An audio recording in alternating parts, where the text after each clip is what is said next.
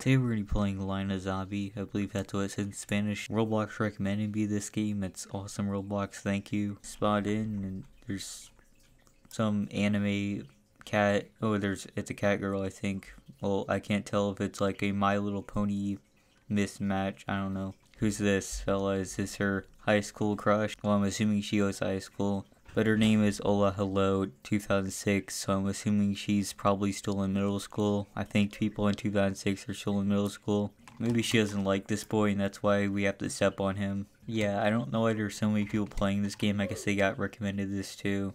Wait, where are we supposed to dodge? I forgot. Are we supposed to dodge the pictures or what? I'm glad this isn't broken.